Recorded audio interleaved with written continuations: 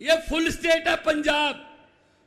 हमारा राज्यपाल हमें बजट सेशन बुलाने की इजाज़त नहीं दे रहा था। हमें सुप्रीम कोर्ट आना पड़ा। जी बजट सेशन बुलाने दो। सुप्रीम कोर्ट ने कहा बजट सेशन होगा। इजाज़त दो। बजट सेशन के पहले, चार पाँच दिन पहले मंत्रिमंडल की मीटिंग होती है। जो सरकार की प्राप्तियाँ होती हैं, उपलब्धियाँ होती हैं, वो लिखकर गवर्नर को दी जाती हैं। कि मेरी सरकार ने यह किया, मेरी सरकार ने यह किया। तो उसने कहा, हाउस में आके कहता, मैं इसमें मेरी सरकार नहीं कहूँगा। मैंने कहा, फिर किसकी सरकार है? कहता, माई गवर्नमेंट नहीं कहूँगा। मैंने कहा, जी, मुझे सुप्रीम कोर्ट जाना पड़ेगा फिर।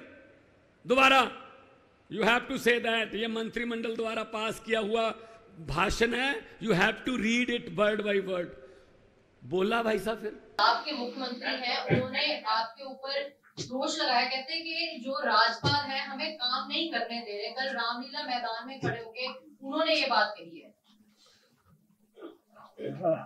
अब ऐसा है कौन किसको नहीं करने देता? मेरे दस चिट्ठी के एक जवाब नहीं। कॉन्स्टिट्यूशन के खिलाफ कर रहे हैं वो। है? सु, सुप्रीम कोर्ट ने अच्छा वो गए सुप्रीम कोर्ट में। सुप्रीम कोर्ट में क्या डिसीज़न हुआ आपको मालूम है? सुप्रीम कोर्ट ने बोला कि it is hundred and one percent obligatory on the chief minister he has to give reply जो भी गवर्नर पूछेंगे वो डॉक्यूमेंट भी देना पड़ेगा रिप्लाई भी देना पड़ेगा एक क्लियर वर्ड में है। है ना? नहीं तो मेरे से ले लेना जजमेंट की कॉपी सुनिए। सुनिए सुनिए तो पहले तो इनकी बातचीत कर देता हूँ। अब मेरे पे भी थोड़ी सी डांट पड़ी है। मैं छिपाता कहा हूँ?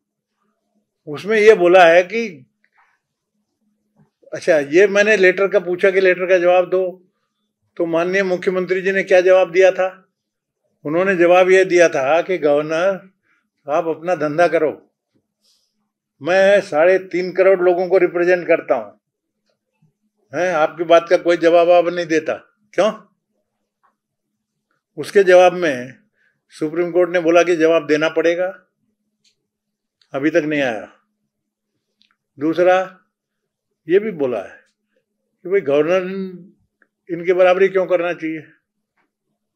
तो इसलिए रामलीला में जो भी बोले उसका जवाब मैं कैसे दूं क्योंकि सुप्रीम कोर्ट ने बोला है कि बराबरी मत करो हैं